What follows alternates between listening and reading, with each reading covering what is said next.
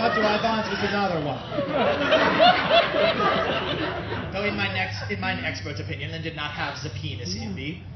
This is not to say that Linda was without boldness. Some colleagues believe that she may have delusions of grandeur, a superiority complex not so much a superiority complex as an entire superiority subdivision. when I consulted colleagues regarding Linda's case, some wondered if she has the gesprochen auf dem Kopf. How you say the, the voices in her head? Hmm? But nothing could be further from the truth. No one who truly knew Linda Langston would ever accuse her of having an inside voice.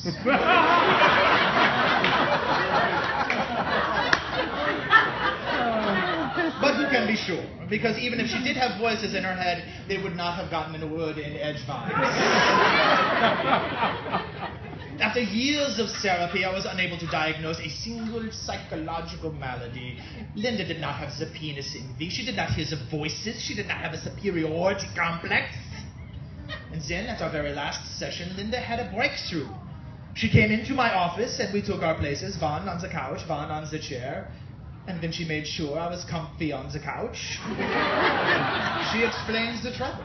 She did not have a superiority complex, but everyone else had an inferiority complex. It is not the job of the world to convince her that she is not so great. It is her job to convince the world of our potential greatness. And so she is no longer with us. In this way, she is still here. She is the little voice in our heads telling us to become what is possible. But she would say that with a lot more efforts.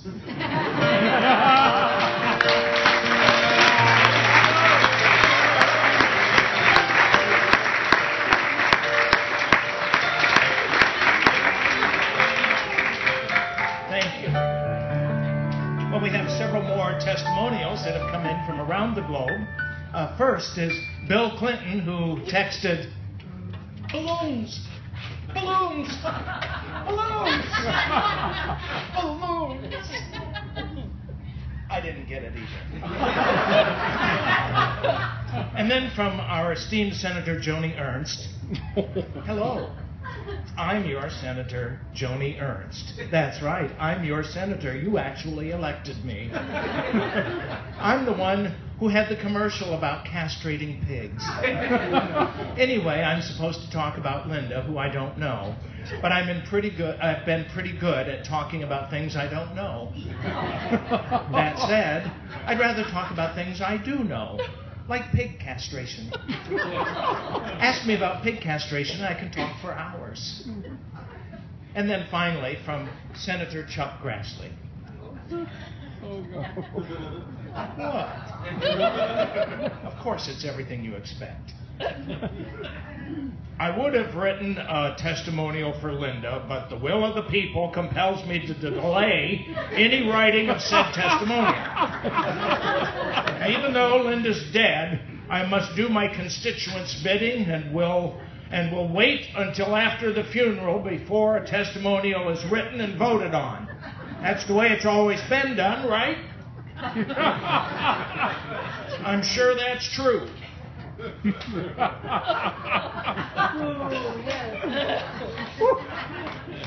Now, as many of you probably know, Linda and Dave often played host to many of Cedar Rapids' connoisseurs and cognoscentes.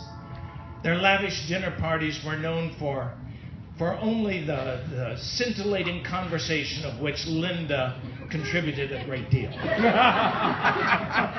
but also for the succulent food that was served up and lots of good cheer. Now, many of you don't know is when the braised chicken or bacon wrapped pork chops were passed around, Linda had nary a bite. Linda was a vegan. Which I'd like to say is a more healthy way of living, but then I'm a meat eater and I'm still here, and well, she isn't.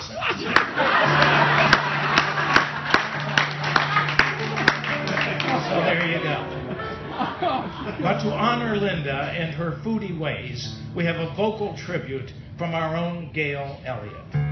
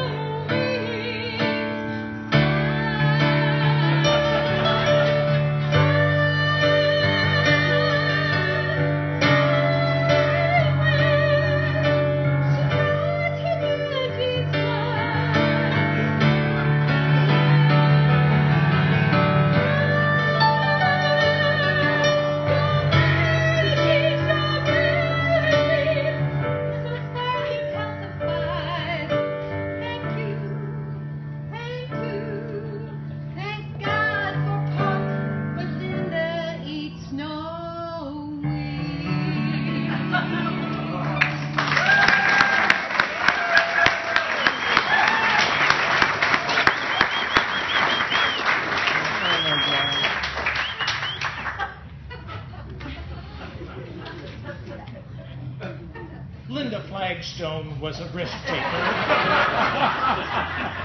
provocateur, a challenger of all things sacred, someone who consistently found herself immersed in a cauldron of boiling floodwater.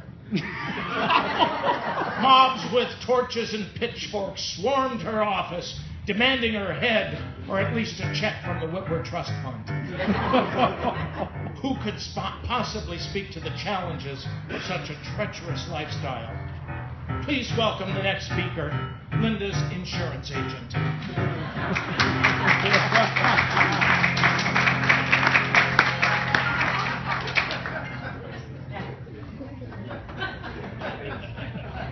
Good evening, ladies and gentlemen. I, my name is Ignatius Roulette, insurance agent, actuarial scientist, and public spokespersonage for the United Fire Group Insurance, right here in Cedar Rapids. UFUG is happy to be the co-sponsor. is happy to be the co-sponsor of today's celebration of the death. Uh, celebration of the life. of the life of Linda Langston. Overjoyed might be putting it a bit mildly. Thrilled. Relieved. We're talking a real Mama, Dada, Santa's real and he got my letter kind of satisfaction here, because as many of you may or may not know, Linda was a longtime client of UFUG. Clients might be putting it a bit mildly. Risk. Liability. Drain.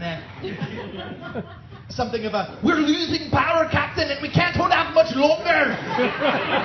Level of financial exhaustion, if you will. Because the promise of any great insurance company is to be there with you in times of need. When disaster or accident has taken away, we are there to comfort and to provide. We at UFUG are proud of the service that we give our clients and our community because we truly are there. And we are all in this together. As we like to say around the office, just as there is no I in team, there is no I in UFG. There is, however, an F and a U.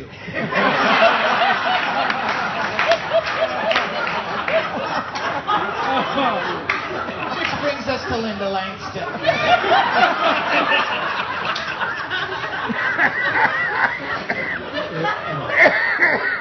she was, let's face it, folks, a walking disaster area.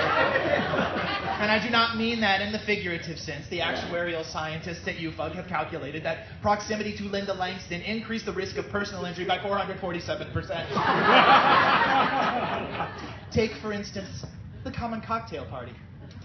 Normally, we would estimate the risk of a non fraternity social gathering resulting in property damage or personal injury exceeding the claimant's deductible as one in every 5,347, which is comfortably within the premiums minus claims profitability calculus. Until Hurricane Linda hits the dance floor. Linda Langston treated crystal stemware and dry clean only with the same casual violence that an Oklahoma funnel cloud treats a trailer park. it's nothing personal, mind you. It's not that she was clumsy per se. It's just that when Linda got to talking, she just she had to express herself fully, and she would be damned if your Pinot Noir or barbecue cocktail wieners or dry clean only raw silk chemise was going to get in the way of a good story. By the end of the night, everybody looked like they'd had front row seats to Gallagher's Sledge-O-Matic reunion. and then David Langston would sleep, sweep in with club soda and napkins, like Linda's own personal FEMA team.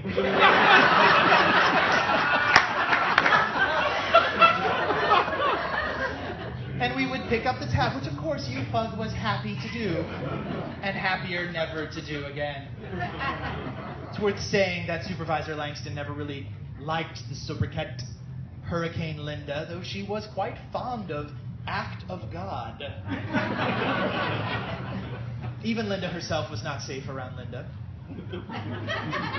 Some of you may remember the winter of 2004 when Linda took up full contact solo cardio, an obscure sport of her own creation that mixes equal parts power walking, professional wrestling, and self loathing.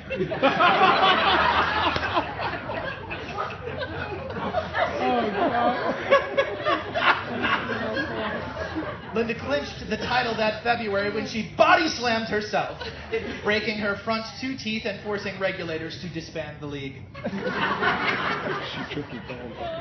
Undeterred, Linda took up combat tennis in 2006 and immediately found herself on the injured reserve list after tackling herself at the baseline, resulting in a scaphoid fracture that, thank Christ, said the end of her athletic career. she spent six months in a wrist to shoulder cast. But undeterred, Linda would be seen in public appearances waving to the crowd, which caused concern in the local Jewish community. but did earn her enthusiastic, albeit temporary, flood of support from the Steve King campaign.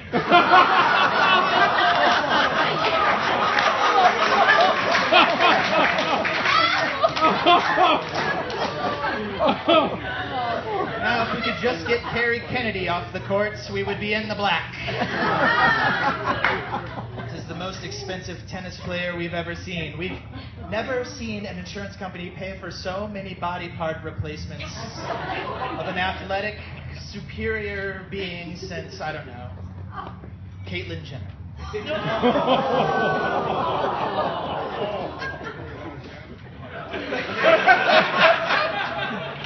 Which brings us to flooding. A subject about which we are all too familiar at the moment. Linda, of course, worked tirelessly during the 2008 flood and the subsequent reconstruction, and it could be said that her enthusiasm was born in part from the fact that her own Sun Valley house was damaged in the epic flood of 2002. That's right. Linda's house was flooded in 2002. Coincidentally, the very night of her election to the Linn County Board of Supervisors. The Gazette headline the next day said, Linda Langston wins election, loses house. True story.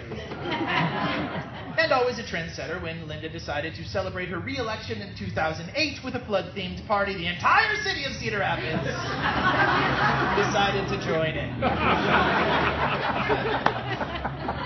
and now, in 2016, on the eve of what would have been her fourth campaign for supervisor, the waters of the Cedar River began to rise.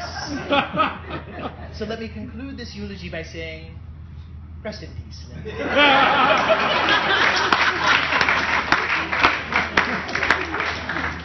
and it's not a moment too soon.